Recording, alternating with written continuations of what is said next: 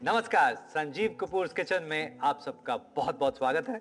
चलिए कुछ favourite recipe आपके साथ शेयर करता हूँ। स्प्रिंग रोल टाइप बैग्स या कुछ भी शेप बनाने की कोशिश करते हैं, कुछ वेजिटेबल्स के साथ में खेलने की कोशिश करते हैं। तो इसके लिए तैयारी फटाफट शुरू कर देते हैं। ये मेरे पास नॉन स्टिक पैन और उसमें थोड़ा सा तेल, यहाँ पर कुछ सब्ज़ियाँ मेरे पास हैं, जैसे बीन्स हैं, छोटी कटी हुई गोभी है और आप चाहें तो थोड़े से ग्रीन पीस भी डाल सकते हैं। और ये मेरे पास गार्लिक अगर आप गार्लिक खाते तो ये गार्लिक गार्लिक भुन जाए, उसके बाद इसके अंदर डालें ये बीन्स ये लीजिए बीन्स इसके अंदर।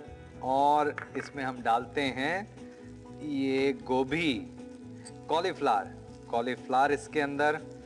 और थोड़े से कुछ मटर के दाने क्रश किए हुए और इसमें हम डालते हैं नमक, पेपर, ये लीजिए। ये सब चीज़ों को हल्का सा सौते कर देते हैं। अच्छा ये जो है, इसे बनाने के लिए मेरे पास स्प्रिंग रोल रैपर हैं, बाज़ार में मिल जाते हैं फ्रोज़न तो वो आप ले लें। ये सब्ज़ियाँ हल्के से सौते कर दी, इसे बंद करते हैं हम और फिर ये जो है, इसके अंदर, और इसके साथ इसमें डाल देते हैं थोड़ा पनीर। ये लीजिए पनीर इसके अंदर, और अब इसे मिक्स कर देते हैं। ये सब चीज़ें अच्छी तरह से मिक्स हो गई, और अब ये बन गई हमारी स्टफिंग चलिए, थोड़ा सा ठंडा करें इसे। ये और इस स्टफिंग को लेकर रखते हैं हम। इसमें ये देखिए। ये मैं यहाँ पर लगा रहा हूँ, मैदा। और ये मैदा पानी में घुला हुआ और इसके बाद इसको हम रोल कर देते हैं। इधर लगाइए थोड़ा मैदा। ये इस तरह से। और यहाँ पर मैदा अंदर लगाएँ। और और दबाकर इस तरह से बंद कर दें। सब तरफ़ से सील हो जाना चाहिए, लेकिन किनारे जो हैं, वो थोड़े खुले हुए होने चाहिए। ये तैयार, और बाकी जितने हैं, उसे भी इस तरह से कर लिया। आप चाहें तो इसको अलग शेप भी दे सकते हैं, लेकिन मेरे हिसाब से ये जो है, बस से रोल किया।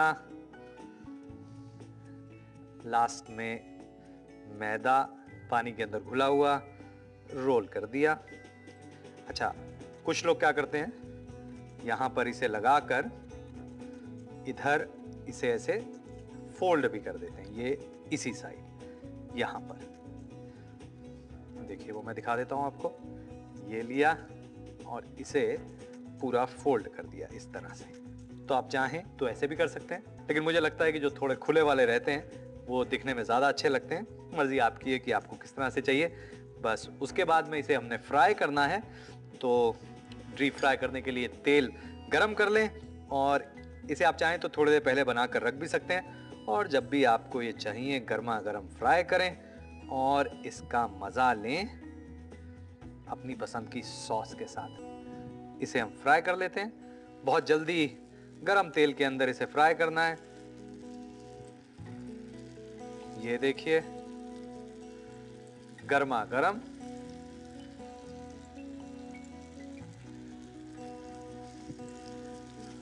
ये जो है, इसको आप अलग अलग शेप में बना सकते हैं। कुछ लोग समोसे की शेप में बनाते हैं, कुछ लोग इस तरह से बनाते हैं। आप गोल भी करके इसे बना सकते हैं। जैसे यहाँ पर ये मैंने गोल लिया हुआ है, आप इसको गोल करके बना सकते हैं। पसंद आपकी है, लेकिन ध्यान ये देना है कि जब आप इसको फ्राई करें तो बस इसे उसी समय सर्व करें। गर्मा गर्म, एकदम क्रिस्प निकलता है ये, और चटनी या सॉस अपनी पसंद की। मेरी पसंद थाई चिली स्वीट वाली जो होती है, वो वाली सॉस है ना मज़ेदार?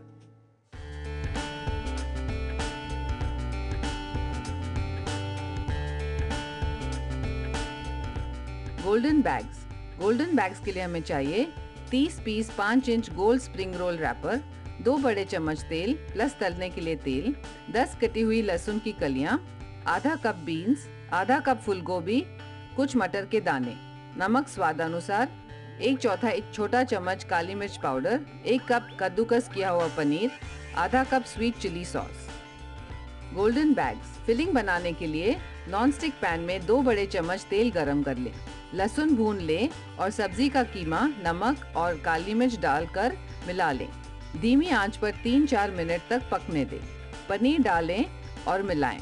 मैदा की पेस्ट बना लें स्प्रिंग रोल शीट के चारों ओर मैदे की पेस्ट लगा दें और दूसरी ओर रोल करें। सील करें। गरम तेल में तल लें। स्वीट चिली सॉस के साथ सर्व करें।